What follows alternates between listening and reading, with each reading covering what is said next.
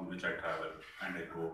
And I meet these incredible people who are well diggers, who are farmers, who use wastewater, who use sludge, and uh, and use it productively and make sure that the land is uh, fertile and green and make a living out of it.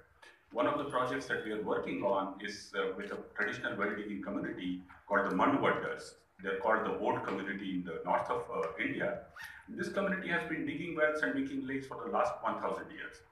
For me, it was a discovery that there are 750 or more families in Bangalore still trying to carry on that tradition. And so one of the things that we could do is to make sure that these well diggers are integrated with policy. And how do you do that? I have the opportunity of writing the rainwater harvesting policy for the city of Bangalore. I sit as one of the members. And so we made sure that recharge wells was made mandatory as part of policy. That meant that there was enormous work unleashed for those who actually deserved it. Policy writing should keep in mind not just water security, but livelihoods. And therefore, now there are more than 100,000 wells which have been dug in Bangalore. There are 10,000 wells which have been cleaned, deepened, and made sure that there is water, and potentially there will be 1 million wells in the city. The 1 million wells will mean that 750 families will have work, and the city will be water secure. It will not be a Cape Town. These are the kind of partnerships which we need to forge, not just in our cities, but in our villages, in our watersheds, in our river basins. And that is the way that we are going to tackle the big challenge that is there for, uh, for water in our country. I am a mere reporter. I have the luck of carrying a mobile phone. I have the luck of being on Twitter, Facebook, and social media.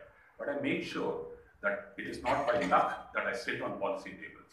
I sit and make sure that the wastewater policy for Karnataka recognizes the use of untreated wastewater and treated wastewater by farmers.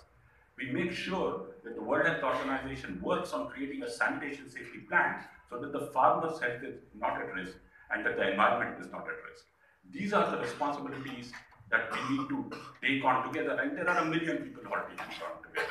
So I thank with uh, great humility, and it's very embarrassing to see oneself on a video for one and a half minutes. But thank you for making sure that the video was only one and a half minutes. It would have been unbearable otherwise. And thank you for the audience for this enormous uh, degree of knowledge that you bring and which has been part of the discussion for the last two days. It takes a lot amount of, of patience and fortitude to be listening to so many thoughts and processing it in our minds. We need not all be talkers, we need to be listeners also. And most importantly, we must be doers with a heart. And if you are able to manage policy and practice on the ground with the very people whose livelihoods are at stake, I think this country can uh, have enormous transformation. Thank you very much.